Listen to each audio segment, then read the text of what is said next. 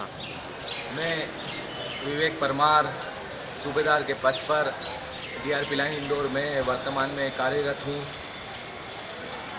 Physical जब मेरा 2015 में रिटर्न क्वालिफाई हुआ था तो मैं फ़िज़िकल के लिए मैंने सीनियरों से बातचीत करी, पूछा कि कहाँ पर जाऊँ फ़िज़िकल के लिए। फिर उन्होंने ऑफिसर का रेफरेंस दिया।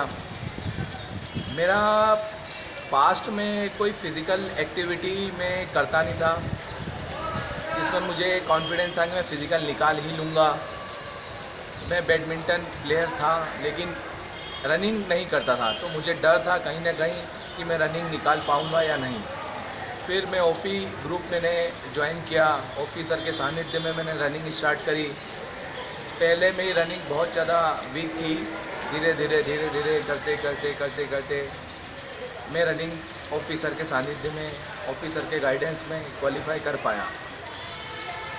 ऑफिसर ने हमेशा मुझे मोटिवेट करते थे। मैं हमेशा उनके मार्गदर्शन में अपनी रनिंग करता था। ऑफिसर ने मुझे तीन चीज़ों के बारे में मूल मंत्र दिए। प्रॉपर वर्कआउट प्रॉपर डाइट और प्रॉपर रेस्ट क्योंकि आप वर्कआउट तो कर सकते हैं लेकिन अगर आप प्रॉपर रेस्ट और प्रॉपर डाइट नहीं लेंगे तो उस वर्कआउट का कोई मतलब नहीं है। क्योंकि जो आपने वर्कआउट करके आपकी मसल्स ब्रेक करी या आपने एनर्जी आपकी लॉस हुई है, उसकी रिकवरी के लिए डाइट बहुत ज़रूरी है। और रनिंग में डाइट का उतना ही मेन रोल है जितना वर्कआउट का। आप बिना डाइट और बिना रेस्ट के आप वर्कआउट नहीं कर पाएँगे, क्योंकि कंटिन्यूसली वर्कआउट करने में अगर आप डाइट नहीं लेंगे तो अब आपको वीकनेस आ जाएगी।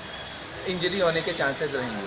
क्योंकि रनिंग करते करते बहुत सारी लेग्स इंजरियाँ होने के चांसेस रहते हैं, जिनकी रिकवरी के लिए प्रॉपर डाइट बहुत ज़रूरी है।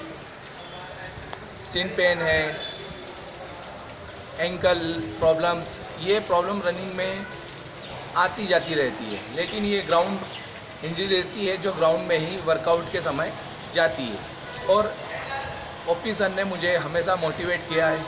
मेरी जितनी भी रनिंग में गलतियाँ हैं, उनको बताया। उनको कैसे इम्प्रूव किया जाता है, वो बताया।